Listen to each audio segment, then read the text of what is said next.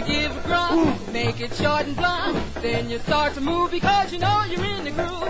When you hear the beat, then you stomp your feet. Put them all together and the dance is complete. It's a rhythm, you do rhythm, called bongo boogie. Bongo boogie. Bongo